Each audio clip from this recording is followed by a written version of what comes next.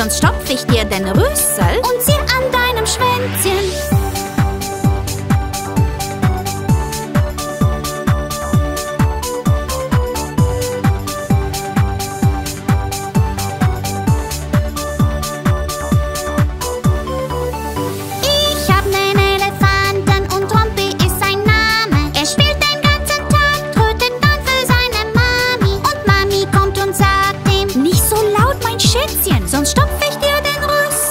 sie an deinem Schwänzchen.